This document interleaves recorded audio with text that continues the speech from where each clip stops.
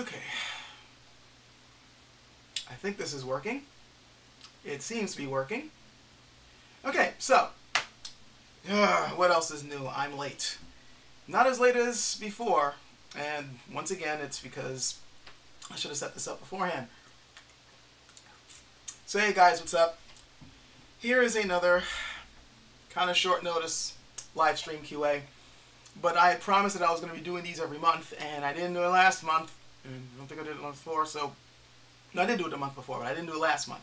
So I'm making up for it. I'm doing it this month. Um, this one's going to be a little bit more freeform. Um, I don't have a preset topic. I wanted to do that. Uh, hopefully we'll have something for next month, like a preset one, before we just go into general questions. But I wanted to at least have one for this month so that people can jump in. Hopefully you guys um, will be able to find this entertaining. I'm not going to make this one as long as the last one. I think the last one was like, what, two hours? Um, unfortunately, I am a little pressed for time, so I'm not going to be able to make it that long. But I will still at least try to make it long enough for you guys. So before we get into the general questions, um, for you guys to like hit me up in the chat. And this time I actually have it properly set up so I can actually see what's in the chat now. Um, see, I got it set up for live chat now so I can actually see when people are posting up. And I got the super chat set up in case people want to jump on that, but of course it is not mandatory. Um, might as well go into some things that I wanted to touch on from a couple of my past videos that I felt I needed to kind of go a little further in depth in. So, first thing I wanted to touch on was on the very last video I put out, which was on, you know, when the, with the whole Chinese sword thing, having the two fingers on the wrist. So, my and, and please forgive the noise in the background. I've not much you can do in a small apartment when the kid wants to make a lot of noise, and I already told him to keep it down, but there's only so much you can do. So, anyway, I think I didn't make myself too clear about the main topic of that past video, which was supposed to be specifically about taking the two fingers and putting it on the wrist. A couple of people have asked questions or made comments about just this in general and, the, and what this could mean and the usage of it. That really wasn't the focus of the video.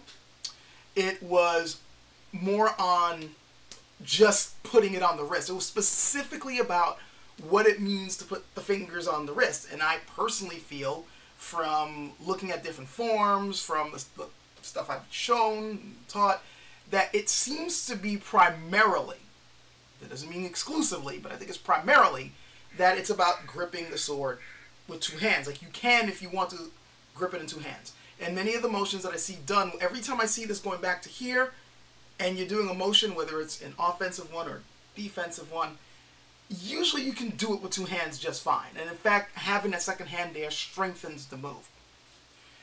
I've seen people asking questions like, um, you know, what if you have a shield in this hand or like a buckler? Um, what if you're, you know, if it's for grappling? What if you're holding your scabbard? And I don't really see anything wrong with those particular questions because it's good speculation, and in fact, like for a lot of people don't realize that in Chinese warfare there was a time when they were using shields, so there's something to that. Um, there is a time when using the scabbard in the left hand, especially if it's made out of a rigid enough material, can be used to ward off blows. In fact, I've even seen a form where the scabbard is held in the left hand. I've only seen one form, mind you, but it does exist. So there is something to that. But that's if we're just talking about this hand in general, like what is should the left hand be doing? I was talking primarily about just on the wrist. So I just wanted to say that just to avoid any confusion about because uh, let's face it, if you're putting your hand on the wrist, having a shield there, maybe for a small shield like a buckler to protect your right hand, especially since there isn't a a, big hand guard to protect your right hand, I can kind of see that. Um, but things like certain motions, it wouldn't lend very well to that. So I think in general, something else in the hand might work, but not for this being here, which was what the main focus was about. But that being said, uh, please don't take this as a criticism of some of the speculation of questions that I saw in the video, because they were rather good. Um, one thing I was noticing a lot about you guys is that you tend to either ask or you know really good questions, or you come up with some really interesting speculation that's like, hmm, could be that. and I think that's cool. Um, it sort of reminds me of how when people on the internet have a certain goal in mind or when they're trying to figure something out, they can, if they put their minds to it, they tend to be able to find a solution or get pretty close to it or at least gain a whole lot of ground within days. Or sometimes not even days, sometimes hours. Like it's really, it's, it's amazing how that can happen. And it's actually made me wonder if maybe that's something we should be doing for martial arts as well, particularly martial arts research. Because everybody knows a little bit about something. And if you got a whole bunch of, you know, people putting their minds to either researching something about martial arts or, you know, figuring out better ways to implement movements or um, like even researching stuff from the past, having a lot of minds on it, all working on it, I think we could yield some fantastic results. So yeah, don't you know? Yeah, those speculations. I honestly think you guys were posting up, not just in the comment section, but I got also some stuff in Patreon. Some a couple of comments from people from Patreon. That's really good stuff. So yeah, I appreciate it a lot. You know, you guys really have some good minds out there. So, um, oh, whoa, I got something cooking over there. Give me one couple of seconds. Be right back. This cannot burn. yeah, thankfully it's not burning. Yeah, everything's within reach, which makes things cool, but unfortunately, it tends to get in the way of other stuff I'm doing, like doing a live stream. And before you guys ask, no, I am not going to be able to do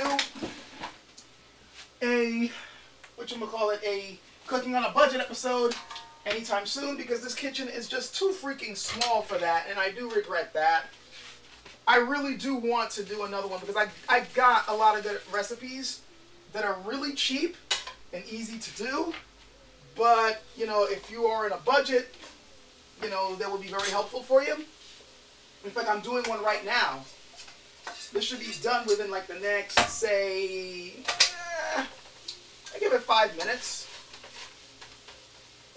Most of the heavy cooking's already been done. But again, this kitchen's so small that I just don't really see how I'm going to be able to do a proper, you know, video on it.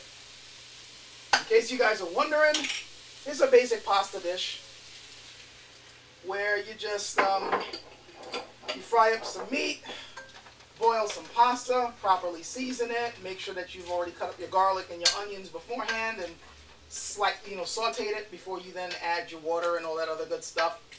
And then at the very end, you just combine it and then sprinkle some mozzarella and um, parmesan on top and you're done. You know, nothing, nothing complicated. And it comes out pretty well, but until I get a proper kitchen, which should hopefully happen sometime this summer, cross your fingers. Everything should be, you know, well, hopefully that'll be fine and I'll be able to show you guys that as well as um, a couple of Haitian dishes, which are also, you know, pretty easy to do, but they're, you know, they're tasty, and more importantly, ah, they're cheap. Okay, so, back again, sorry about that. I just wanted to make sure that that didn't burn. Thankfully it didn't. Uh, speaking of food though, um, I've been meaning to, I, I really need to hurry up and make this video. Maybe I might do it next week, I don't know, but it just depends on how I set everything up. I've really been meaning to do a couple of like tasting video things. You guys have been asking me about tea for quite some time. Um, and I've got teas that I need to show you guys, um, including some here. And I've been wanting to do a video with me and my son and possibly um, girlfriend MJ. Um, just you know, talking our opinions on teas. And I really need to do it now because my um, I have a brother living in Japan, and he had sent me some stuff, some green tea straight from Japan. I got a couple of them here, um, like this one, straight matcha, um, which I already have a container of matcha um, on my tea shelf already. It's really, really good. The really good fresh stuff, you know, like when you properly whisk it, it gets all frothy. Yeah, got that. This one, I think it's going to be the same quality. At least I hope it is. Um, got this one here. This this one's also um, the, the, straight up traditional matcha as well. I think it's a different brand. Um, what I'm getting from this this one looks like it's just pure matcha. Like I'm I don't think it's the stuff that you mix with um, with like milk and tea and all that, that type of stuff. You get that. You got this. this these are two different brands, but it looks to me. I, I, I can't read Japanese, sadly enough. So, for all I know, maybe one is a finer grade than the other. Or maybe it's a different brand. I honestly couldn't say. But I'm going to be testing these out, and then I guess I'll find out, right? Um, and then I got, this was a really interesting one. Um, sorry about the glare, guys. I'll put a little bit closer so that the light doesn't glare. God, eh. This, this was interesting because these are individual bags of green tea powder. It's not leaves. It's just powder in the bags. I thought it was kind of weird. But you can, because it's in powder form, you can literally just throw it in cool water and mix it up, and there you go. Like, that's what I have in here right now. It's, it's green tea. It's good. Mm certainly better than you know buying in Arizona or something like that, you know, because you don't got all the sugar in there. Though to be fair, the Arizonas don't have that much sugar in them compared to other sugary drinks in the U.S. But you know, you, you, it would help to cut down on the sugar regardless. This is one way of doing it, and it's a lot of them in here. And then, of course, if we're talking about green tea powders, you got the stuff with the sugar in it as well if you want to make your green tea lattes or mix it with milk or something like that. And I do enjoy that, so this was a nice touch. Um, and then finally, I have no clue what this is. Um, this isn't green tea. Apparently, it's some kind of like chocolate snack called Heart Olive Chocolate Crunch. I have no clue what this is, but I guess I'll find out. You know, later on, I, I, I want to do a video with me and my son, and you know, let's just trying these things out and act like idiots um, whether we go ah, or you know or something in between. So hopefully I'll get that going soon. Oh, um, I need to say hello to people. Um, to um, Jiao, um, I like milk in tea, but it depends on the tea. Like if we're gonna be talking about chai, obviously you're gonna put milk in it, right? If we're talking about Earl Grey, yeah, I'm gonna put a drop of cream or so in it. Um, but other stuff like like green tea, unless I'm making like one of those so-called green tea lattes, which is such a weird thing to call it because it's not a coffee, but whatever. Um, yeah, I might you know mix it with milk. It's it's tasty that way, or you know like certain things like that. Um, but in general, I tend to like my teas pure. I only put cream in there if I know it's going to enhance the flavor. Certain blacks, I'll put you know milk in there, or if I'm making Thai tea and I know how to make my own homemade Thai tea, and it tastes just like the way it tastes in the restaurant except you don't got to spend tons of money on a Thai tea pack. Seriously, I, I really do need to do a cooking on a budget episode on that. Because I know people who go to Thai restaurants and they taste it or they see it and they're like, oh my god, this is so good. And then they want to make it at home, obviously, right? And so they'll go on Amazon they'll go to an Asian shop and they'll see a bag of the stuff and they're paying like close to $10. And it's just black tea, guys. It's just black tea with yellow orange food coloring spun in. And then they brew it strong and then add some really thick cream to it and then a little bit, little bit of milk and ice and mix it up. That's all it is. If you want to make it at home, all you need to do is go to your local supermarket and buy one of those like, you know, black tea boxes that they sell in bulk for really cheap and just over like just really boil the crap out of it and then add your cream and sugar and put in some ice cubes and you're done. Seriously. It's that easy. And if you really want that yellow color, throw in some turmeric. It's better than the food coloring, and since it's turmeric, it's better for you. There, that, that, that, that's, that's your tip for, for today, if you want to make that stuff. Yes. Okay, so enough of that. Um, oh, one more thing before I start looking at questions, I guess, because I really don't have much else to say. Um, this is on a video I did beforehand on the whole gun issue and things like that. Now, I'm not going to be diving into the topic itself, but there's something that I really feel I need to clear up, and I, I think I already did a decent enough job of it, but just in case, I'm going to state this again. Because when it comes to these sorts of talks, it seems like nobody, it's like you either got one extreme side or you got another extreme side.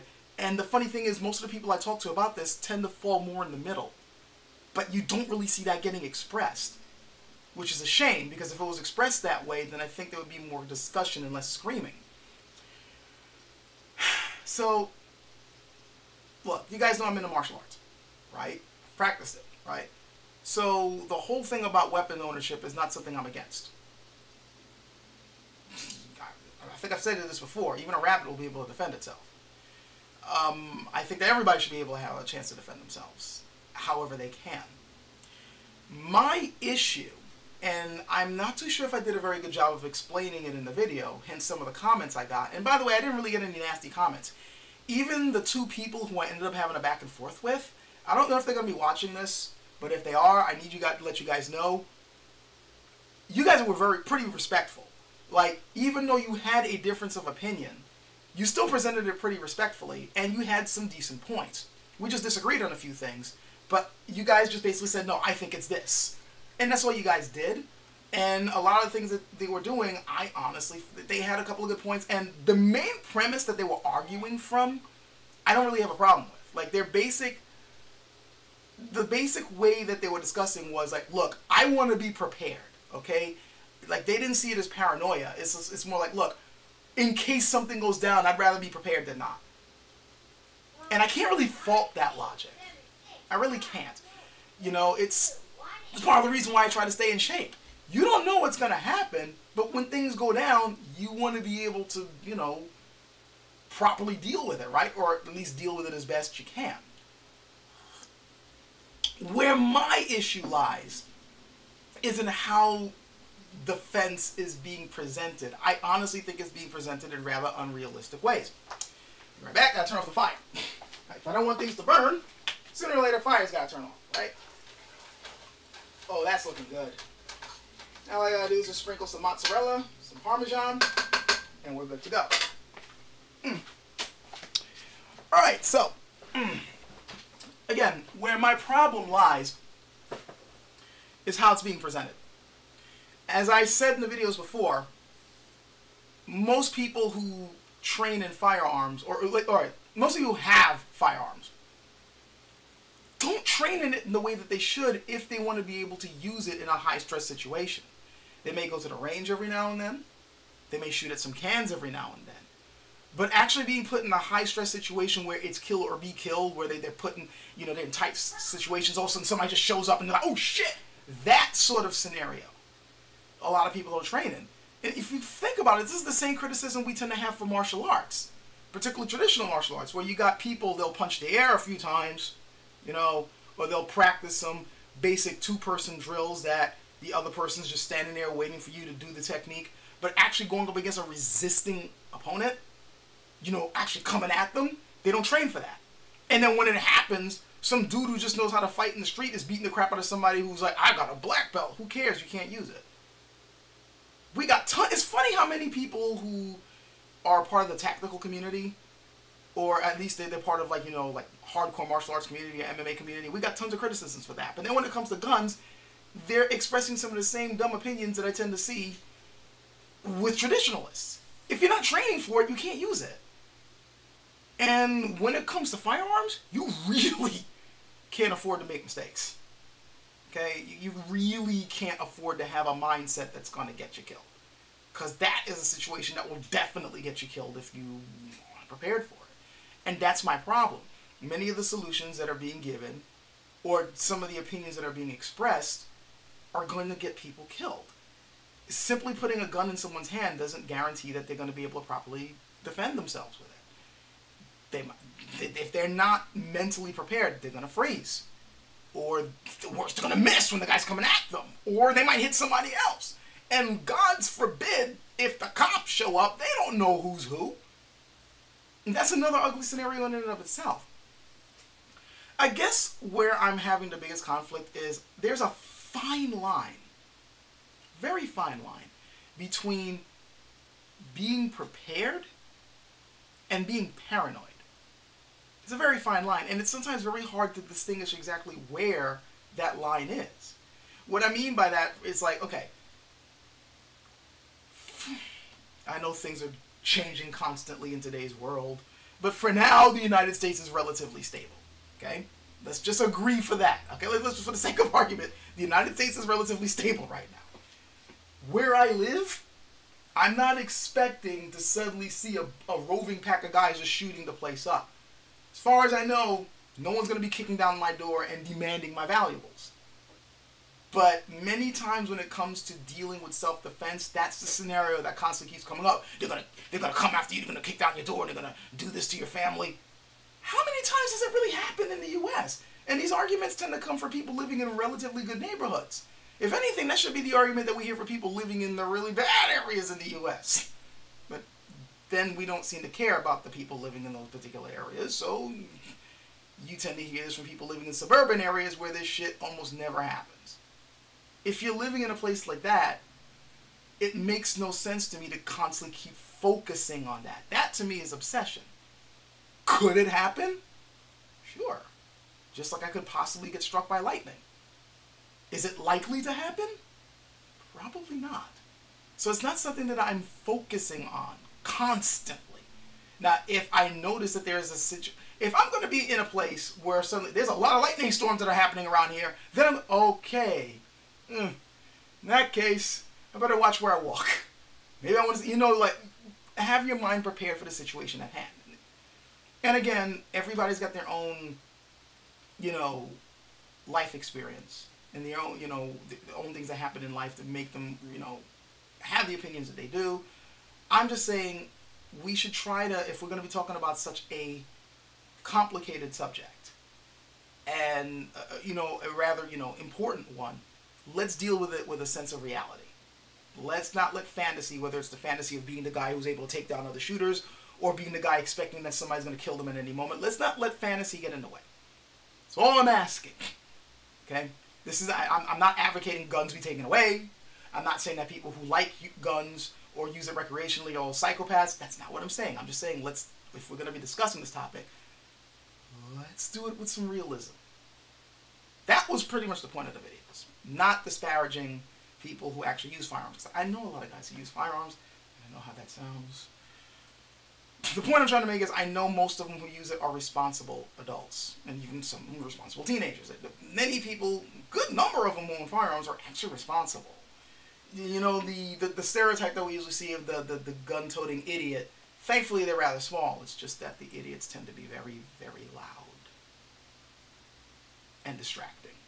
And this happens to exist with any topic, whether we're talking about the firearm issue, or video games, or comic books, hell, even cooking. There's always some small group of idiots that just ruin things for everyone else, and then people think, well, that's what they're like. No. So, anyway, enough of that. I guess it's time to start looking at basic questions.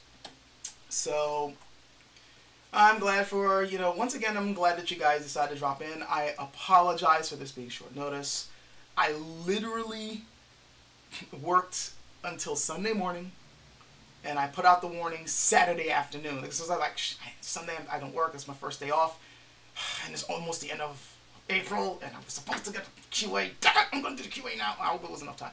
So for those of you who made it on here, hell, I'm happy if two people showed up because I know how sh short it was. So Alright, let's get into it. Um, this probably won't be on for long. Probably around 7.15 I'm to cut this off. 7.15 Pacific time. So for anybody who wants to, you know, let's just get on with it. First, let's actually do some proper hellos to people. I see Hector Gray is on. Oh, oh man, Gilgamesh is on. Sup? the same faces. It's cool seeing. It's like, hey, it's like, it's like you know, when I used to hang out in New York in the East and West Village and, and I would just show up to my usual haunting spots and then I would find my old, you know, hey man, what's up?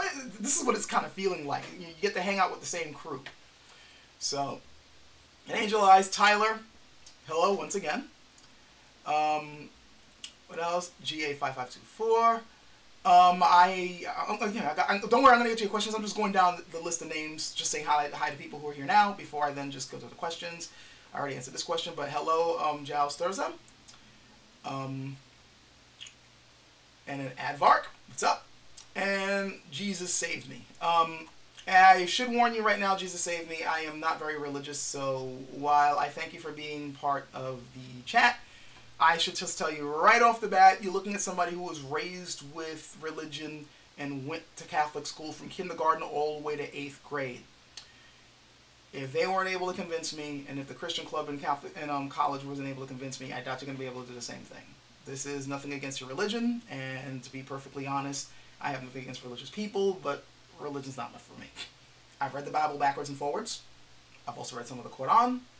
I've also researched some other religions. There's a reason why I'm not religious. That being said, everybody's got their right to their own particular opinions or their own beliefs. And I'm not going to be saying anything bad about your beliefs uh, unless you make an argument of it.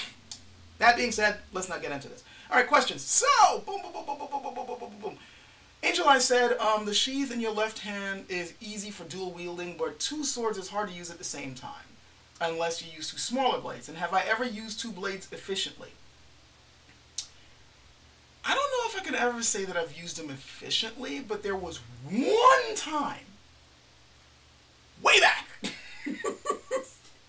we're talking, I was still in my freaking 20s, when I used two swords in a sparring match.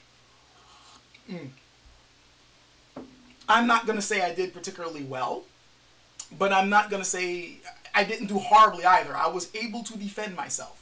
That being said, this was back when I wasn't exactly focusing on two weapons. And to be perfectly honest, I still don't really focus on using two weapons at once. But I just simply applied what I knew with hand to hand with my left and was able to basically what I was doing was defending with the left and simultaneously countering with the right. That's generally what I ended up forcing myself to do.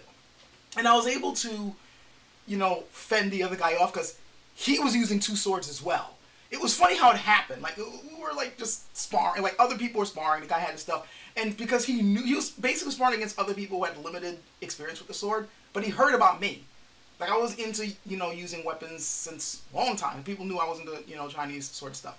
So as soon as I rolled up, he gave me this evil smile, threw me into a second weapon, and then picked up a second one. I'm like, oh god. And I was able to do okay but I was just feeling so awkward using the second one because it wasn't something I trained in. After a while, I just threw it down. I'm like, let's just, I'm just gonna go back into this. And then I was able to spar on for a little bit longer.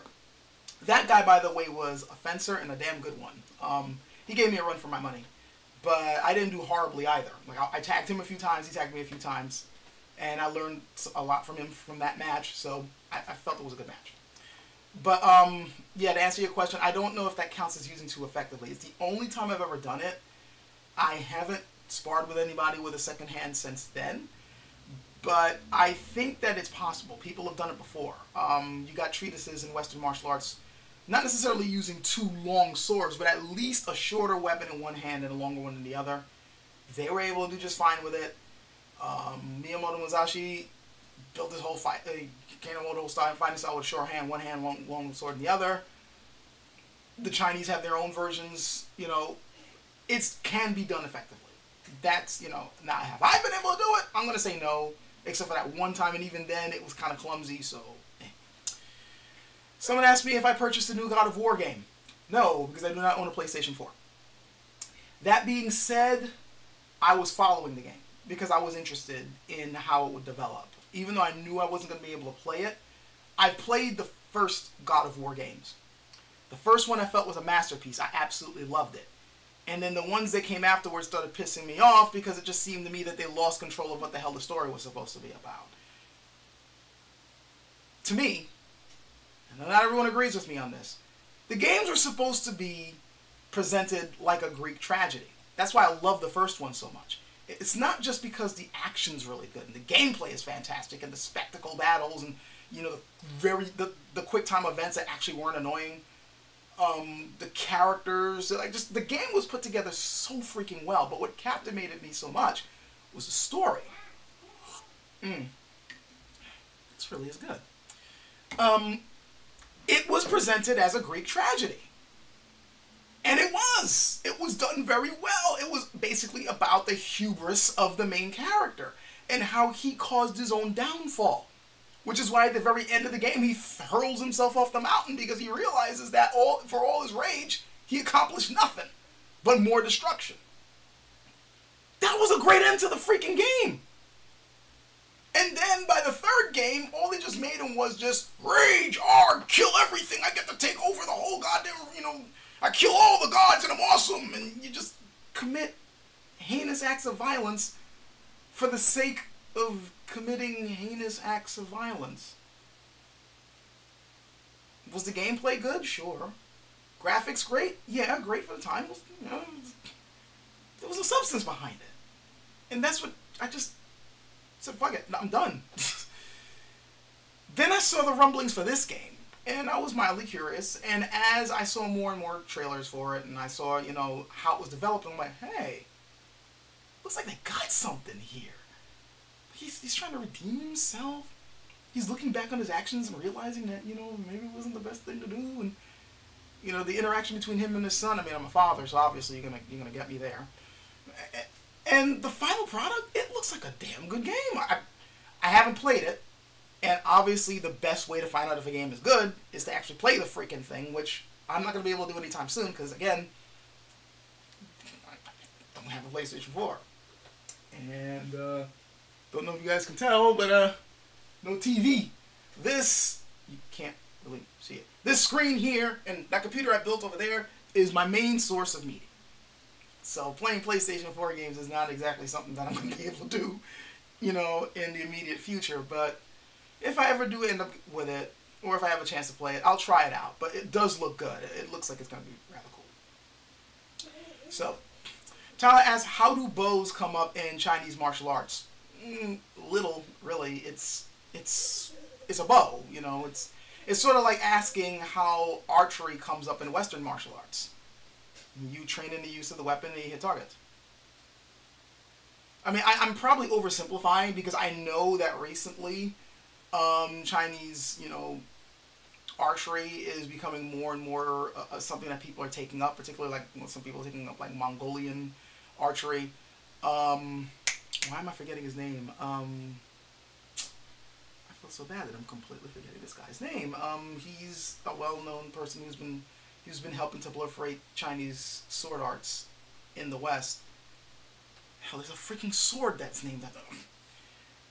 And some of you guys probably know who I'm talking about, but he's been talking more and more about Chinese archery. It's, you know, as far as I know, I mean, it's, it's, it's archery. You know, it's really interesting, but it's not necessarily, like, if you go to your typical Chinese martial arts school, it's not exactly that they got an archery class set up. You know, it's something that seems to be exclusive in, in, in and of itself. Kind of like how Western archery is exclusive in and of itself. Like if you go to a boxing gym, they're not going to necessarily teach you archery. Same thing if you go into a HEMA class, unless the, you know you got a couple of guys in there who take up traditional archery. I mean, but it, it tends to be a separate thing, as far as I know. Um, please make some when I can um, do the cooking videos. Yes, I definitely want to bring those back. I already gave my opinion of milk and tea. Um, oh, they make tea candy in Japan, so it might be a chocolate. Yeah, that's what I was suspecting about this. It, it says chocolate crunch. It's just it doesn't look like it's chocolate. It, it's probably like I don't know. I don't know if it's covered in like green tea or some type of candy crumbly stuff. Like if you look at this, and, if you guys are wondering what the hell I'm talking about, um, earlier I showed this and somebody's commenting on it. Um, Sturza, um, Gal Sturza he says it makes um, tea candy in Japan, and this is one of those. And if you look at the candy, it doesn't it doesn't really look like chocolate, does it? Like it's just it looks like like little crunchy things, you know, like like like almost little rice cakes or little granola thingies, but it's probably chocolate underneath. It's like so, yeah. Um, so let's see. I disagree on bump stocks from the point of view. Somebody asks, okay, why would you limit yourself to a short sword or a sword and no shield? Hmm, it is a good freaking question. I mean, when, if a shield protects you so well, why would you go without it? And I mean, I think there's a lot of different answers to this, and I think somebody who studies warfare, like generally like warfare, would come up with a better answer than what I'm about to present. But honestly, I think it has to do with the limitations of being a civilian. If you're a warrior and you got a uh, you know a warrior status, and I say uh, during a time period where melee combat is the norm, yeah, you can afford to you know they expect you to have the accoutrements of warfare. You know, you got not your sword is a sidearm. Really, when you go to war, you want longer weapons. You got your spears, you know, or you got your javelins. You definitely got your shield. You got your armor now, look at it from the sake of a civilian who, if they're lucky enough to be able to have weapons to defend themselves from the battlefield, it's usually not going to be at the same level.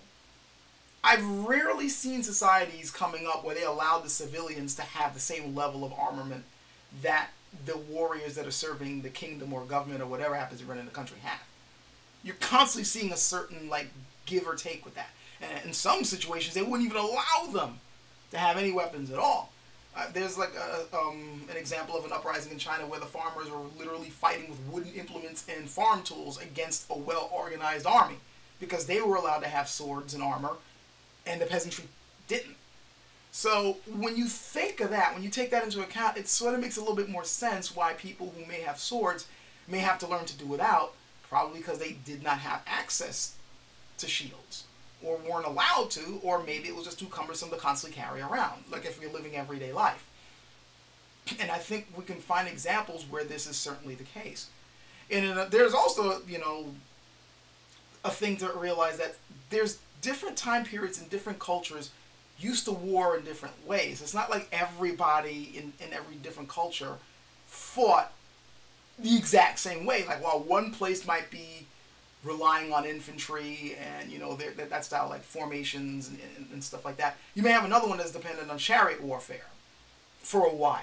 Or you may have those who are primarily concerned with long range stuff and very little to do with short range stuff you got certain kingdoms or empires who won, like the Phalanx for the Roman Empire. That was one of their main ways of being able to conquer. Like that was their style. Other particular um, places didn't fight that way, to their detriment when they went up against the Romans. You know, it's like so you got to keep these different things into account, and that's just dealing with the warriors themselves. That they're going to have what they need to fight their fights their way. The civilians, not so much. So they got to improvise. And so then they're like, well, I ain't got nothing over here, but I need some way to protect myself here. what do you do? Um, the China, for the Chinese, they came up with, you know, keeping people at a distance. The spear. There's a reason why in Chinese, traditional Chinese martial arts, they call the spear the king of all weapons. Because if the other guy's using a short weapon, you got a spear, you win. Usually. Um, another way is finding out a way of quickly getting inside and getting past the defense you know, grabbing that other arm with your open hand and then chopping or cutting and doing whatever. Um, Chinese saber play is full of that. You know, the left hand is there to grab or to ward off, and then you know just cut them down. So it's not so much that oh I feel like limiting myself. What f the shield? It's sometimes more like they don't really have access to it for a variety of different reasons. Maybe it's a cultural reason. Maybe it's they're not allowed. Maybe it's too cumbersome but it's it's usually just like when you're dealing with civilian stuff, and a lot of us are training in civilian forms of these traditional arts. They're like using what they're able to use. They're not necessarily using straight up war stuff. Like even today, we have examples of this. For as much as I, you know, the tactical community when it comes to firearms, they got their hands on some great shit. Awesome pistols, great rifles, and able to show some fantastic stuff, but they don't necessarily have exactly what the military has. Sometimes they can, but many times there's some type of limitation. Like, how many civilians you know with a Glock 18? Unless they've lifted that ban in the U.S., which I don't know if they have, but you know what I mean, right? Like, there's to be some things that you aren't necessarily going to have access to. And we've seen this throughout history, so I'm thinking that's probably what it is with the shield as well watch somebody prove me wrong and then say no the real reason is is because this and then make me look like a complete idiot but that's generally how I've seen it as I was looking at this stuff. Okay, um, but going down, going down. um, my opinion on Kora swords, it's a Falchion Chinese hook sword mix. I've never heard of this. I can't, I'm sorry, I can't really answer the question. I have no idea. Let's see, let me type it down. Kora source. Oh! Oh, from the... Oh, these things!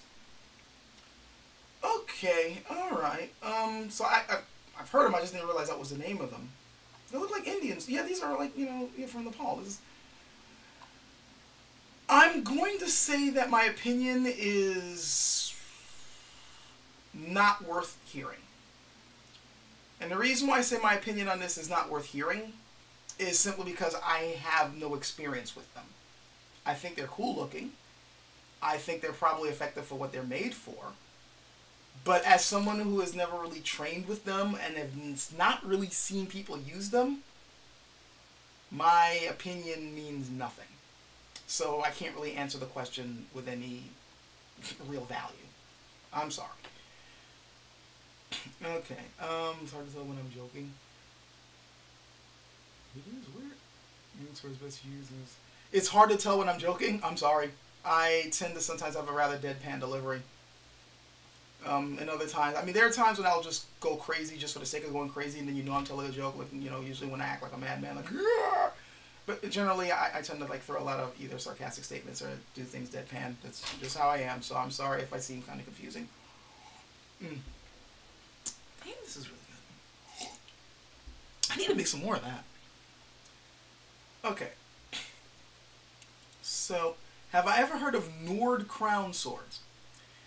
They are a Russian blacksmith. They make the most beautiful swords I've ever seen. It's only jewelry. Um, I've never heard of them, but your descriptions got me interested, so I wouldn't mind checking them out. Um, and so I'm just clicked on my phone, which I'll check later because my phone was allowing the light coming down here so you can see my face more. I'll check it out. um, I wouldn't mind checking it out. I need more time to start looking at more swords, and, and this actually allows me. I I I, I want to kind of delve into the kind of sword market at the moment because I've been meaning to kind of do an update on a video I made a long time ago on where to get good swords and how to find them. That video is hopelessly out of date because so much has changed since then. I mean, the general advice will still do you okay, but as far as where to find the swords and who makes them, yeah, I desperately need to make a, a, a you know an update on that because so many of those companies don't exist anymore um, and others may not be as good as they used to be. It's, it, it's just a lot, a whole lot that has changed. So I've been meaning to do that, and I wouldn't mind asking for some of you guys' help on, you know, because I, I still like know of some places that are worth going to if you want to get swords. Like Cult of Athena is still a really good, just general all pl- good place to go. If you just want a sword, you don't know where else to go, check out Cult of Athena. They got great customer service they usually separate the wheat from the chaff when it comes to good swords. They usually can hook you up. Um, but as far as the Chinese market goes, so much has changed. So much has changed. It's like things just keep fluctuating all the time. And this is not even taking into account, you know, how the economy has changed also and how it's getting harder and harder to sell and buy swords depending on where you are in the world like new bills are being passed now that just limiting things even more. Like I feel sorry for some people in Europe, like in, like in England. You know, like it's just making it harder and harder just to get your hands on a sword. You know, like a katana or something. Just because oh, it's dangerous. Um, it's getting harder and harder to sell things to these people. Like when the, the when I used to be in the um the business when I was like working for a sword company, the hell we went through just to get swords out to the UK was ridiculous. And now they're coming out with new bills that I'm. I think they're already out with some of those. It's just making it even harder. I, I, I really feel sorry. And like there's other countries where they're putting limits also.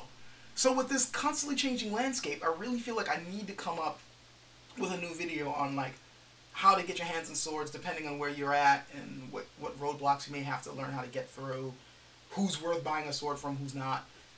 And while I am focused more on the Chinese aspect of things, I wouldn't mind hearing about other cultures. Like you, you're saying, talking about Nord swords. Um, again, let me look at it. Nord crown swords. Um, I like Western swords. I may be into Chinese stuff, but I really like Western swords. Like the way they look, um, their function, their usage. It's some cool stuff. I see why people are into HEMA. It's some really cool stuff. And again, when considering that you know, as a kid growing up, I was raised on reading things like Lord of the Rings and you know the Conan movies you know, sword and sorcery fantasy, you know, things like that. I just had an attraction to the sword, and that sort of stuff is just kind of you know woven into my life. Like, so I, I lean toward those type of weapons. So I can't help but look at them and go, you know. So I wouldn't mind checking this guy out, definitely. Um, I need to somebody actually just put something up in the super chat, so I need to address it immediately before I go to the other question. Um, it's from Discount Viscount. Thank you very much. I really appreciate the five dollars. Um, Big fan. He says, what weapons and methods were preferred for Chinese armored fighting? Spears and heavy weapons. Um, the little, little bit that I've seen, when it comes to straight up warfare, they love their spears. nice, nice long spears, and they usually were heavier than the type of spears that people are training in right now. Um, and then when they wanted to smack, like either they wanted like good long range piercing weapons, the bow. There's a reason why archery was big there um, for general warfare.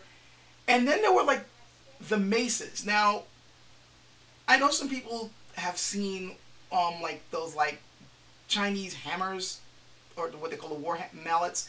It just looks like a you know like a standard you know hammer stick, but it's got a ball instead of like a hammer shape. Um, or it'll have like this octagon shape. And while those were used, what I've seen more are just these like rods. Like they look like the length of a sword, if not a little bit shorter. But they're like they're just heavy metal rods, heavy metal sticks, and those were maces, or sometimes I would call them whips, which scratch your head on that one. But they would use those to like strike heavy blows to crush bones, or to you know do damage to helmets, then to crack them. And the funny thing is, if you guys ever seen Detective Dee and the Phantom Flame, that weapon he's using, that's an example of it. Um, just these these metal rods, and like not everyone had them, but it was used a lot in the battlefield. And sometimes it would be heavy ones, you know. Sometimes it would one's hands, you know. But it, it, it, was like a good mace that you would use for that. And of course, you had your sidearm, the um, especially the Dao. When it um when it comes to sidearms, the Dao just supplanted the Jian completely by the end of the Han Dynasty, for good reason. It's a good cutting, hacking sword, and besides, with their interactions with the Middle East and, and those cultures, that was their weapon, and they realized it's a good freaking weapon, so that's what they kept. Um, Scholagladiatoria recently, a while back, did a video on Persian um, sword arts, and he was like describing the techniques from the book, and it was interesting, and several people pointed this out to him in the comment section, how a lot of those movements are seen in Chinese fighting. You know, especially the whole wrap around and cut. Transferred over to the Dao, the Chinese saw that, they're like, that's some good shit. And continue to use it. And it's not all that surprising when you think about it. Not just because, you know, the interactions with the Middle East, but there is a um, an Islamic community in China known as the Hui people. And they've influenced a lot of Chinese martial arts to this day, you can see remnants of Islamic martial arts fighting, and it's woven into Chinese fighting. We just generally say, it was Chinese long fist. And it was the Muslims that introduced it to them. So it makes sense that also Middle Eastern swordsmanship is interwoven into, you know, Chinese saber fighting, dao fighting. But yeah, um, I, I say if, um, the methods that I've generally seen when it, like, armored fighting, long range stuff, the spear was heavily in use, archery was heavily in use, um, and then smashing weapons like the rods. And then, of course, if you lost those weapons, you had the Dao. A good, heavy cutting weapon. I mean, the Dao was used all the way until World War II. That's how much they found it to be very effective when it came to like fighting. Like, I mean, of course, World War II it wasn't necessarily armored fighting anymore, but even during armored fighting, those were the weapons you tended to see. You know, hacking weapons, cutting weapons, and long-range piercing weapons, and you know, occasionally a good smashing weapon. Um, that's generally what I've seen. So, all right. So, ho hopefully I answered that question properly for you. I, I, I want to make sure that you know it was worth your time to actually donate the five. So, if I didn't, I'm sorry. Smash me over the head or something, and I'll try to answer it better. Um, so, um, Hawk Fumon said that I have a question for heavyweights. I don't like ground fighting. So, what's a good style that's not MMA, boxing, or Muay Thai? Um, well, boxing or Muay Thai isn't ground fighting. So you got your answers right there, I think. Um, I know MMA is mostly considered to be ground fighting, rolling around the ground, but you remember there are a lot of MMA fights where the guy wins through striking, not through ground and pound. We've been seeing a lot more of those lately. You know, just good striking arts. Um, so if you don't like ground fighting, just focus on boxing or focus on Muay Thai. Now, if you don't like those two, for whatever reason, and you still want to learn something that's not, you know, ground fighting like Brazilian Jiu Jitsu type stuff, um, I'm trying to. Um, there's Krav Maga, um, which I. I mean, I know there's some ground and pound with that, but it's also supposed to be a, a no nonsense stand up fighting style as well. Um, I'm trying to think of some others. I mean, to be perfectly honest, like boxing and Muay Thai seem to be like really good heavyweight fighting styles to learn. I mean, if you want to like just focus more on the Chinese style of things and you're kind of heavily built, sheesh, I would suggest something like um. Well, some people might say Hung Gar, but Hung Gar you gotta be you, you gotta be able to move. I'm not saying the heavyweights can't move, but you know you better be prepared for that. Though it has some heavy strikes. Um, one that really takes good advantage of your weight and learning how to properly shift into your blows. Um, not Bagua, um, Baji, Baji Chuan. That's oof, that's a heavy hitting style. There's a reason why the Japanese love it so much, even though it's a Chinese style. It's it's hilarious to me how whenever Japanese either like manga writers or anime creators or video game makers, they're like, hmm, we need a kung fu style. Let's go with Baji. It's, it's hilarious to me how it's only fairly recently that I've seen them start showing other styles other than Baji Chuan. But it's like either it's Jeet Kune Do or it's Baji Chuan or some derivative of Baji Chuan. Like every time I see a so-called, like especially in older video games, there's a Chinese stylist. You see how he moves? That's freaking Baji. like if you see somebody stepping forward with a quick stomping motion with an elbow like that, that's that's that's Chuan. Pretty much. And it's supposed to be a really explosive style. Like you just hit the dudes and they just go flying back. So it's I would say if you're like a heavyweight type person, you know, that's a style for you. Uh, the you know pretty much any.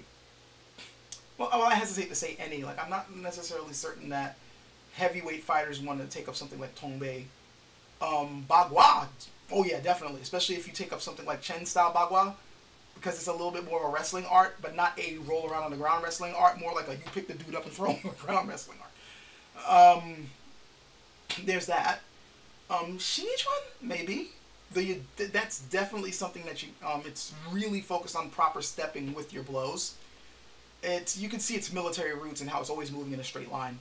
Um, so, I mean, I, I, hope that answers your question. Like with certain arts, like and that's if you don't want to get into boxing or Muay Thai for whatever reason. But I do have to straight, stress that boxing and Muay Thai by themselves are not ground arts. They're stand-up striking arts.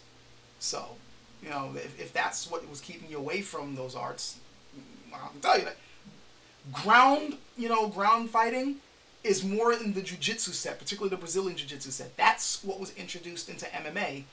And because it's so effective, that's why it's still a mainstay in MMA. I mean, it's there because it works. You know, I know there's a lot of criticisms on MMA, but one thing I got to give them, they it's a practical. They wanted stuff that practically worked. They wanted practical movements. Brazilian Jiu-Jitsu proved itself. That's why it's still there. Um, somebody was asking me. I want to ask, um, what do I know? By the way, um, I'm, I need to mention names here. Um, Yeshua, um, I hope I am not pronouncing the last name wrong. Kuryoga, I'm saying Yeshua, um, or Jeshua Kuryoga is asking me, what do I know about the more obscure weapons in Chinese martial arts, such as the trident, which is in the eight arms of Wushu? Um, one thing I've seen about a lot of the weirder stuff is that either they're specialized weapons for a particular use or they're specialized weapons for a particular style that isn't necessarily popular or it's a new invention. I haven't really seen any other category for the weirder weapons. Um, the trident or like I've seen like or the tiger hook fork, which is originally used for dealing with tigers, hence its name. It's a specialized weapon. Can it be used to deal with people? Certainly. Was it commonly used by a lot of martial artists or fighters? Warriors? No, they had their standard weapons. Um, I tend to view the weirder weapons the same way I would look at specialized rifles today. Are they useful? Yes, but for a specific purpose. You wouldn't give an infantryman a sniper rifle and say, get the hell out there you give them to snipers who have a specific purpose. Um, you know, same thing with like say submachine guns or you know like certain weapons are made for a particular purpose, and a general use weapon um, is not something you know a general use weapon is, is, going to be the most uh, the, the one that's going to be the most practical for most people to use. The weirder stuff is what catches our eye, or the specialized stuff definitely catches our eye and they would be useful for particular scenarios or for particular people who are specialized in its use.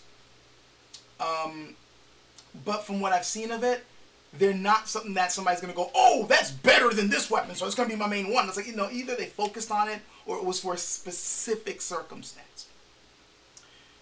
Okay, and I just got hit with another one again by Discount Viscount. Once again, thank you very much. I really appreciate it. You didn't have to do it, but that's why I really appreciate it. Um, how practical is the Guandao against armored foes, and is the oversized Guan Yu one actually good for training? Okay, the Guandao is a heavy weapon. So, yeah, it's supposed to be good against armored foes. That being said, um, the oversized one would be good for training if you're trying to build your strength up. It should be noted that no matter what culture you're looking at, weapons are not really all that heavy because people have to use them. If you got a weapon that's so heavy that you're going to put it down after a couple of minutes, then obviously it's not good enough. Because you got, especially if you're on the battlefield, the battle's not going to be over in five minutes unless you guys were really, really good.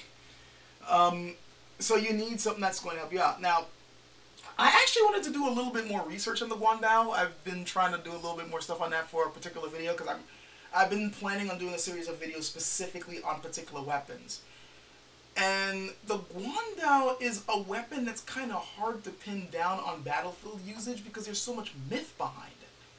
Like, the name itself, it's named after Guan Yu, who's turned into somewhat of a mythological type person. Like, some people even kind of worship him a little bit as an, a god of war. And he's based on a real dude who lived during, you know, the Warring States period of China. But he never used a weapon like that because that sort of weapon didn't exist. Most likely he used a shuo, which is a, and I'm probably mispronouncing it, but it's a type of spear with a long spear tip. But that big, broad, curved blade did not exist at that time period. That weapon, the Guandao, I think, came about during Ming Dynasty China, which is way later. I, I might be wrong. Maybe it came out in Song Dynasty. Somebody correct me. I think it came out during Ming, but I could be wrong. I could be wrong about that now that I'm thinking about it. Might be some. But the point is, it came out after he lived. Came out way after he lived.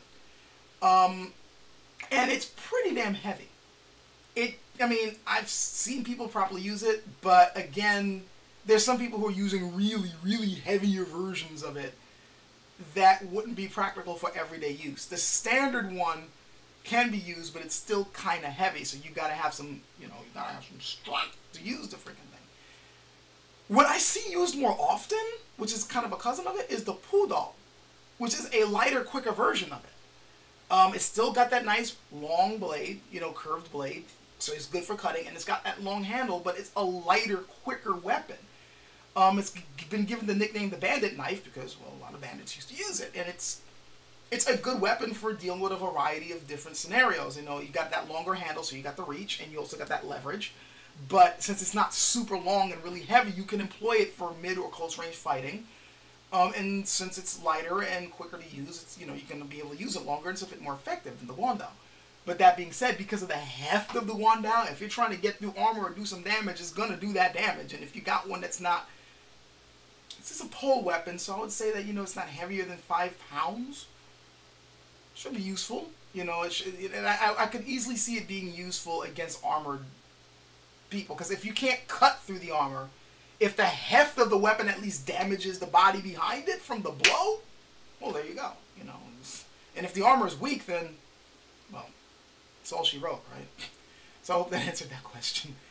Um, Jeez, and I'm gonna have to scroll up, and no, I'm running out of time. Okay, I'm gonna try to get through as many of these last questions. Okay, whatever questions are on the list right now is what I can deal with, and I gotta cut off because I wasn't gonna be on for too long. And I'm sorry, guys. Um, but I plan on doing another QA next month, and then hopefully I'll make that one a little bit longer, and I'll probably do it at a better time. So, scroll. Dropping by say I love your videos. Oh, thank you tonight. Um, we take it back. I appreciate that. Um, but my, somebody's asking.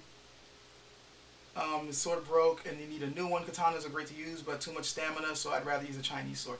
Um, well, Chinese swords can kind of take up your stamina too, depending on what sword you have. Um, like this one, the one that I reviewed a while back. Um, it doesn't really weigh that much less than a katana. Um, at least a good katana. Um, I'm used to katanas weighing around close to like, uh, like around two and a half pounds. Sometimes a little bit less, sometimes a little bit more. but they generally tend to be around two and a half pounds. And this sucker is, if you if I remember correctly, I think this was around two and a half pounds. Because of how it's balanced, it doesn't feel like it, but it's around that. And I find these days with the market, um, that's generally what you're gonna find. Like if you want a good functional jian, you're gonna be around two pounds and up, and sometimes a little bit more than that. If you're looking at just the regular training swords or the crap, then yeah, sure, you're gonna find plenty of one pounders or so, and they don't really take much. Um, like the one that you saw me use in my last video, that's the Hans um, Hans. That's the Adam Hsu which is this one. Throw it over there. This thing is light as hell. This one was specifically made for training. Um, it's it is good steel. It is you know these high carbon steel sword, and it's got a very sharp tip, but uh, no edge. See, so it was made specifically for training, and you notice the blade is pretty thin. That's why it's so light. You know, it's very light. So if you want to keep training for a very long period of time, there you go. It's very light, but I mean, if that's what you if that's what you want, if you want a very light sword just for whipping around, yeah, you can get one. Just keep in mind that it's not going to be a functional sword, as in a sword that you can like has a you know a sharp edge and can cut targets with.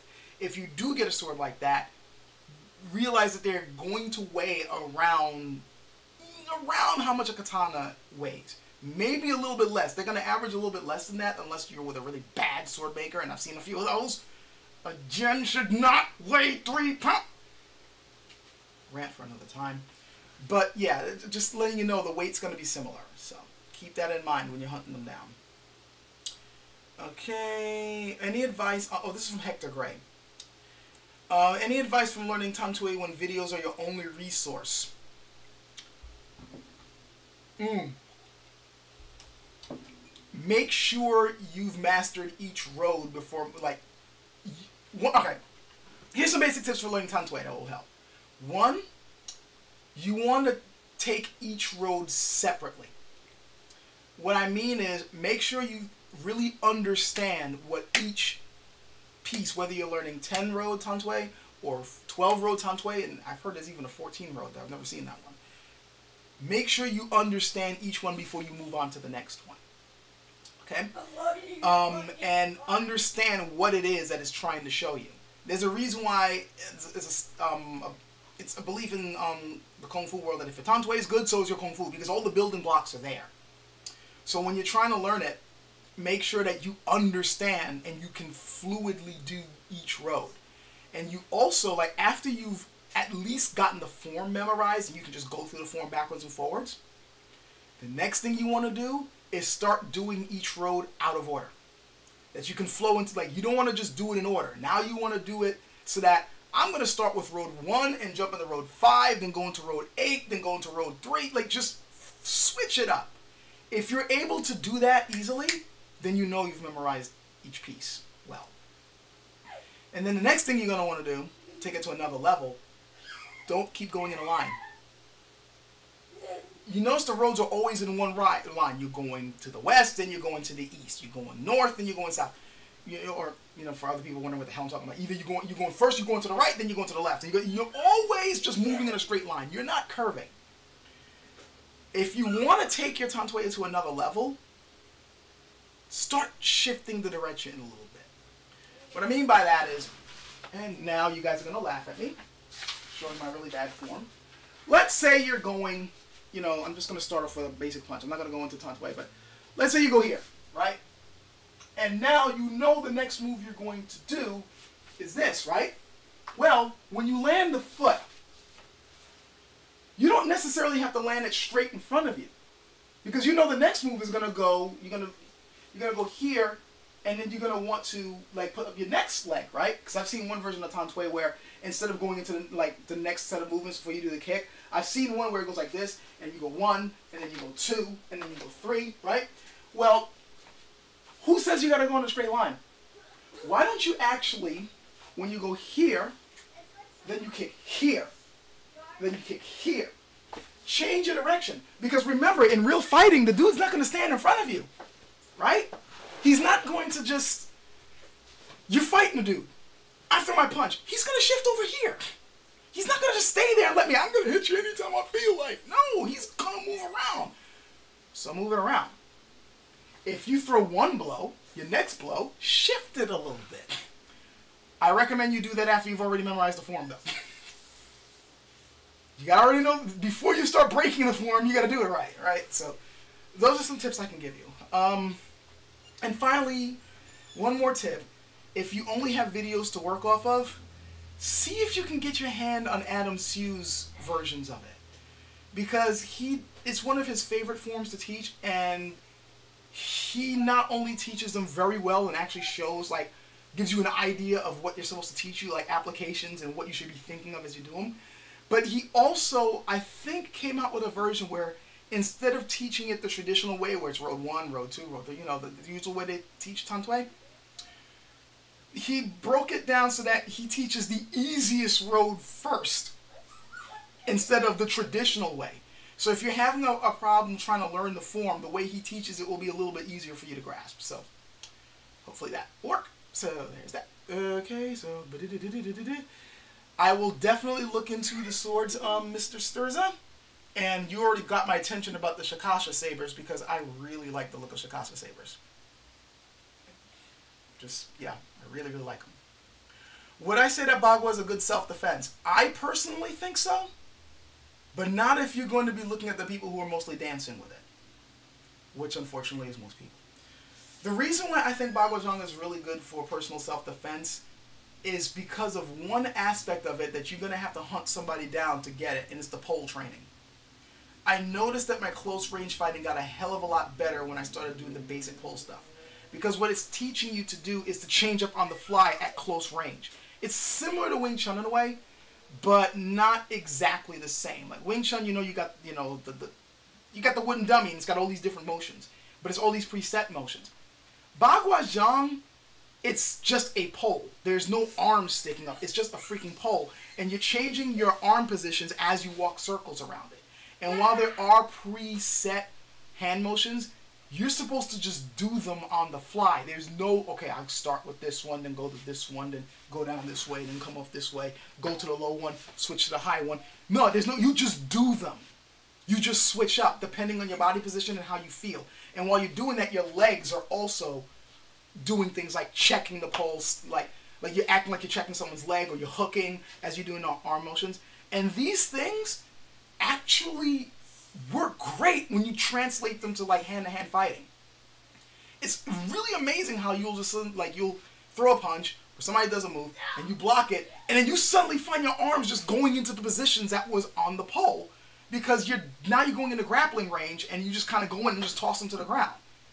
You are, and you're not afraid to do it because you already learned how to get up close. Or you could do things like slip the punch, shoulder check. The guy stumbles back, you put your foot behind his foot, he falls down.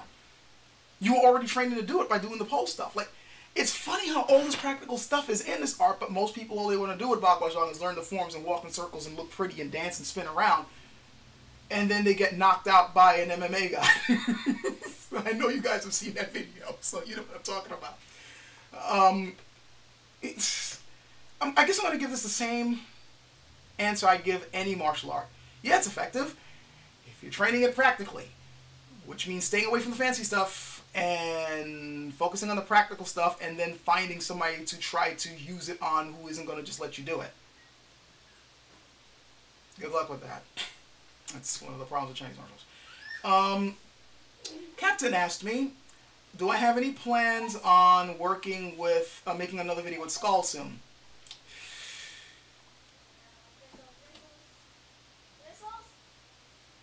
All I'm going to say is there are things in the works, and that's all I'm going to say. That's all I'm going to say. Um, I just lost my place all of a sudden. Freaking mouse. Okay, so first ah man, okay. Oh, um, ah, Nick is on. Um, that's um, Historical Fencing Guild. Hey Nick, what's up? Who needs to make more videos? Um, he says I'm better with Western swords than I give myself credit. I don't think I'm as good as I should be, but eh, I, I tried. He's saying that because we used to spar. He was showing me some basic rapier stuff, and he's definitely the better rapier guy than I am. I'll, thanks for the compliment.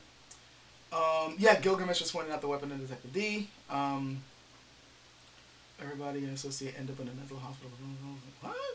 I, can't answer that question. Sorry, Random Panda Studios. Though I'm sorry that that's the case. Um, Black the Berserker. Me versus Skallagrim in Mortal Kombat. Who wins? Do you mean in real life or the game? In real life, maybe him. I, I think he's definitely got the temperament for him. In the game, most definitely him because I don't like Mortal Kombat. I mean, I'll play it every now and then. I mean, the, the height of my interest in Mortal Kombat was Mortal Kombat 2.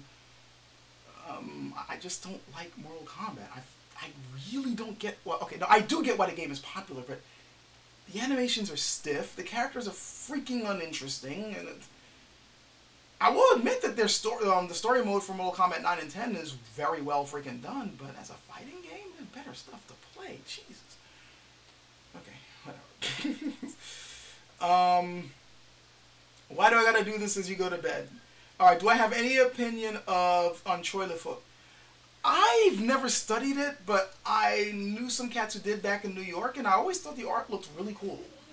Um, they they they had some really good um, moves, and one of those dudes, he actually went to high school with me. The guy was able to handle himself. Um, they tend, I mean, they have some really cool weapon sets they have kind of like a, no, I personally thought that there was a sort of no nonsense mentality to Choy foot when it comes to hand to hand. You see that with a lot of Southern Chinese martial arts styles, by the way. This sort of hard nosed, I ain't here to fuck around kind of sense to Southern fist, as opposed to some of the more uh, some of the Northern fists, like Hung Gar, Choy Li Fut. Um, um, there's another one I'm trying to remember the name of, and this. Why am I suddenly freaking forgetting? Um, White Crane. Like these southern arts, it's just like I'm just gonna go in and knock you the fuck out. I, I, I know there's a lot of tradition steeped into it. Wing Chun, same thing. Like there's just this this tradition, and it is you gotta you know there's a certain way you want to do the forms and all that, and there is some mysticism stuff thrown in. But for the most part, when you're actually learning the hands, you just go in there and knock them out. Like there's there isn't as much dancing, and that's one thing I appreciate about Southern fists, Southern styles, and Choy Le is no exception. Those interesting because Choy Le well, I keep saying Choy Le because I've heard a lot of people pronounce it that way, Choy Le or Choy Le Um, and if I'm, I'm probably mispronouncing it both ways, so again, I'm sorry. It's it's interesting seeing that style because it's there's a lot of northern movement to it, and I, again I have to be very careful when I say northern and southern because that generalization is very misleading. But there's like um, it, there's a lot of like kind of I'd say a northern a stereotypical northern structure to it but it's done in that stereotypical Southern way, which gives it a very unique flavor that's interesting to watch. So I, I do like the style. Um, see be a fan of. I would assume I'd be a fan of Joe Rogan. Have I seen his discussion with Bas Rutten? No, I haven't. And something tells me I'm a poor man for it, so I probably should check up on that. Okay. This is where Guan Yu had a sweet beard. Yes, he did, Black the Berserker. Yes, he did. I'm beginning to wonder if I'm trying to get one myself. Though I doubt it's going to get any longer than this, and I don't know if I should try to get a beard longer than this. Um, I know they were grounded. One guys already learned those. I taught myself boxing. I just feel like the styles like Baji would give you an advantage. Yeah, it would for power issuance. Um, one thing I like about Baji Chuan is that it's they're just these the way it delivers power and the way it teaches you to deliver power in your blows, it's unique. it's, pretty unique, and you. There's a reason, once again, why it's been celebrated over the years, both in China and Japan. So if you find somebody who really knows that art, it's worth checking out and seeing if you can pick up a few moves from it, or you know, study it.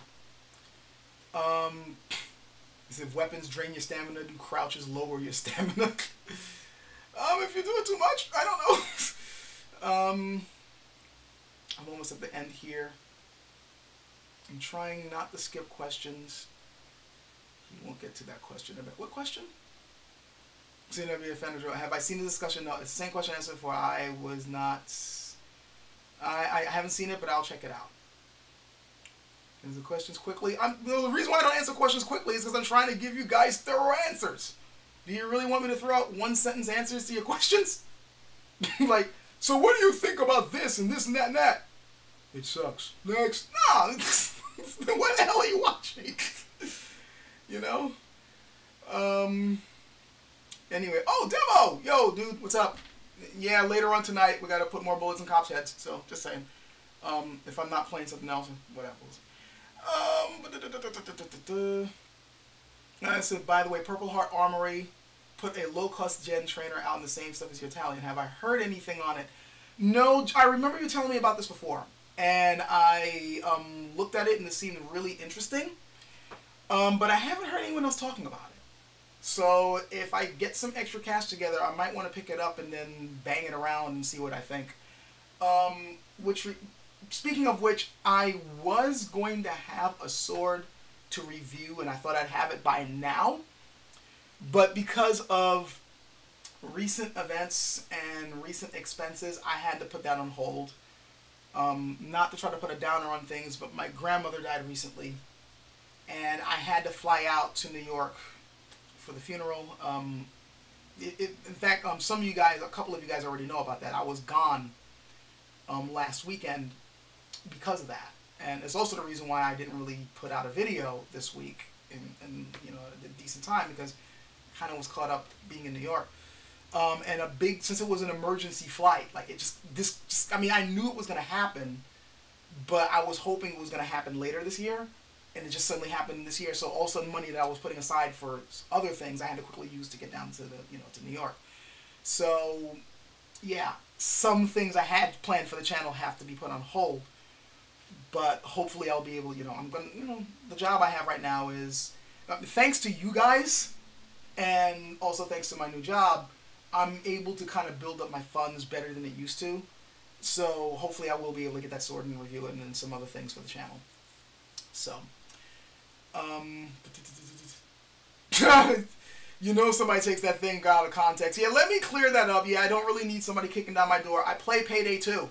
More of you people need to play Payday 2.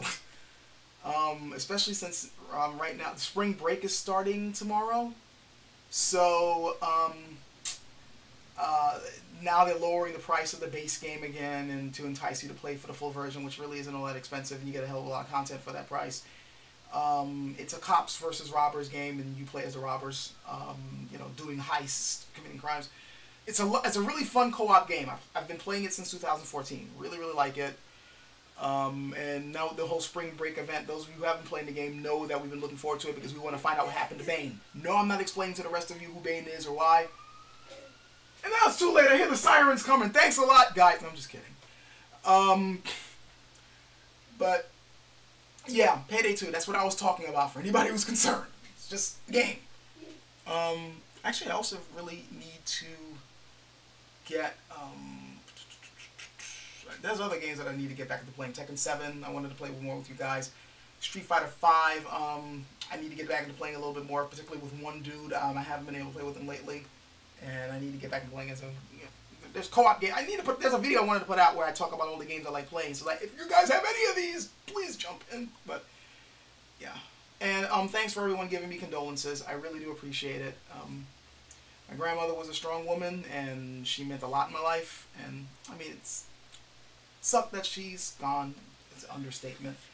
But we were kind of expecting it, and I was able to talk to her before, you know, things went down, and I got her blessing and all that. So it's bittersweet.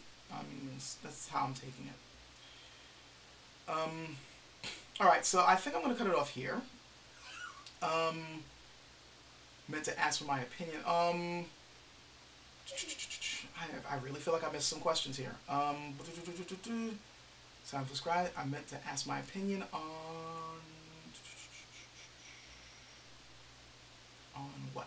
I'm trying to quickly go back up before I cut this off. Did hate knuckle boxing influence Southern styles of Kung fu? I don't get this question. Um, did hate knuckle boxing influence Southern styles of Kung Fu? Hate knuckle boxing? I don't know. Oh, there's the question the other guy was asking. Like anything on Chinese war axes, I know next to nothing about them.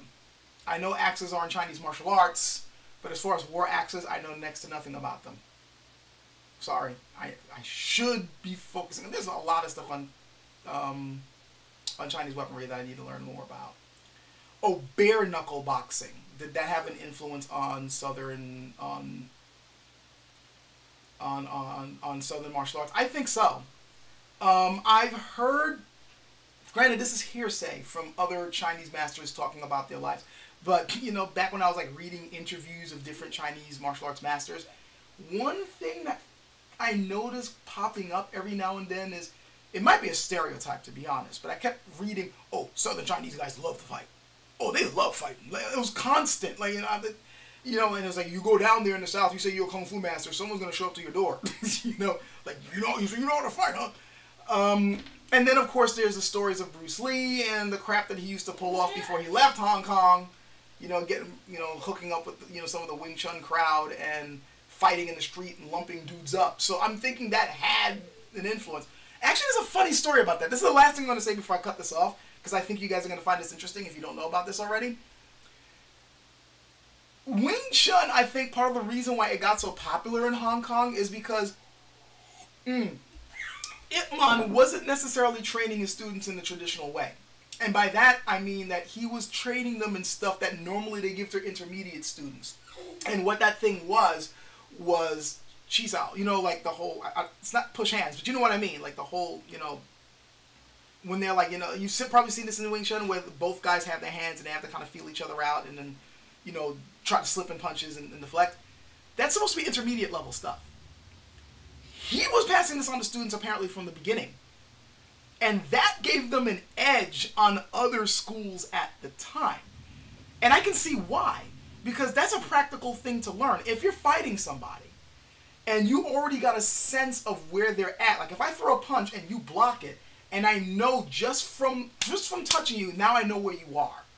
And just from me touching your arm, I can then sense when you're about to pull back or move forward. That's a huge advantage you have over the other guy if he doesn't have that same type of knowledge. If he doesn't have that same type of um, sensitivity, that helps you out so much in grappling. It helps you so much in counterattacking close range. It helps you in knowing where they're going so you can trip them up and make them fall down. Like that's a big advantage you have over somebody else that doesn't have that. Yeah, bridging techniques. When you have those, when you got that in mind, and, and you see this not just in Chinese martial arts, good boxers have that knowledge, right? Um, wrestlers, good grapplers definitely have that knowledge. They have to. To know how to like, oh, I, this guy's trying to slip this way. I'm going to quickly go with him and throw him down, and then now I got you tied up. And a lot of traditional artists didn't have that, especially not at the beginning, but these Wing Chun students were getting that. Huge freaking advantage. So now that when they're out in the street beating the living crap out of people, hey man, I still see you. I know, I'm trying to get something to eat. Don't worry, um, I'm about to cut this off and then will be served. Um, um, they, now they're going out in the street lumping dudes up. It became a problem. Like, it was such a problem that there was a guy who was actually making Wing Chun dummies for Ip Man's school. And he stopped doing it when he found out how much carnage the students were causing in the street. They, they were seriously effing people up. Like they, were, they were lumping dudes up. Like it was like just almost gang warfare type stuff. Like you know, just knocking dudes out. So he later on stopped making them the dummies, and he felt ashamed. Like he thought he was contributing to the problem like he said, I'm ashamed I ever gave them this stuff. Like you know, like you know this this kind of you know belligerent behavior from these people. Dad. So I guess that kind of answers the question as to whether bare knuckle boxing influenced Southern fighting styles. Yeah, I think so. Here's a good example of it. Now this is more of a, a relatively modern day story because you know Ip Man was teaching you know in the 1900s, but the very fact that these schools were fighting each other in the to begin with hints at some street level rivalry stuff where students would just come together and you know box each other down. I still sound the So- pasta. And hmm? I still sound the pasta. yeah, I'm gonna serve some more. Um, So, what was it? Yeah, I, I honestly think that it, it seems to me that Southern martial arts, particularly toward like the latter end of things, seem to be more personal. Um, but I've seen written down that when you start when you're studying Chinese Northern arts, and again I'm speaking in very general terms. When you're studying Chinese Northern arts, you're studying stuff that's more rooted in military type fighting. Whereas when you're studying Southern arts, they seem to be rooted more towards personal or civilian type fighting. So, and you kind of see that because Southern arts tend to be a little bit more close ranged. You know, more like, you know, more hand focused stuff and you're like trapping techniques, bridging techniques, stepping in and striking, grabbing kicks, throwing them down, things like that. Whereas the Northern Arts is more longer range, more push them away, and a lot of the movements are based on using weapons. I've talked about this before. A lot of kung fu movements were based off of weapon techniques. Like, why the hell am I doing this? Because if you put a weapon in his hand, now it makes sense. So, you know, it's kind of interesting how that's kind of um, how that works. You know, it's, it's, it's kind of interesting the mentality here. When you focus more on military techniques, your focus is more on the weapons and more longer range stuff, which we can again see in modern times. Modern warfare is based on the use of weapons and fighting people from longer range. Whereas us on the civilian side of things, when we want to study self-defense, we're studying knives and pistols and more close range type stuff. And I'm you kind of seeing this kind of you know different mentality with so-called northern and southern arts stuff that's level more street level and then stuff that's more battlefield oriented and then of course both of them getting knocked because they're rooted in tradition and you know we can that's another conversation in and of itself of how how well they're adapting to modern times so okay, that's I gotta end it off now. I was supposed to cut off. What was it? 20 minutes ago? 25 minutes ago? So sorry about that, guys. Um, yeah, 25 minutes ago. Now we're running on 26. And now he's asking, what about Dwagons? I like wagons. I really like wagons. Um, yeah, that's all I'm gonna say. So um, I'm glad you guys showed up once again. I mean, it's I'm really glad that even in such short notice, you guys show up and you're willing to ask questions. And this time, I actually, somebody actually donated in the super chat. Once again, discount, discount. Thank you very much for that. I really appreciate it. Um, I hope you guys were able to get something out of it, even though it was kind of short notice. Um, I will try to have another Q&A for next month, and I will probably try to have a fixed topic for it once again, because it seemed that you guys liked that format, so I'll try to have something set up for the next one as well. And um, now I got to try to figure out, besides, of course, feed the peoples, um, feed my son. Um, I got to figure out what's going to be coming up for this week, you know, the next video. I, still want to try to stick with that schedule that I put for myself where I try to put out a video every week or at least, you know, at least three a month. At least three a month, if not four. The, the, um, I, it seems that that's just enough content for you guys where it's not too little, not too much.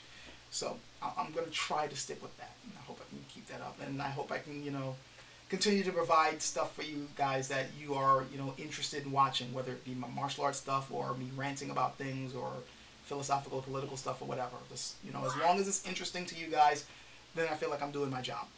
So, all right. Um, again, thanks for showing up. It was great hanging out with you guys, and um, yeah, I'll catch you guys later. Take care.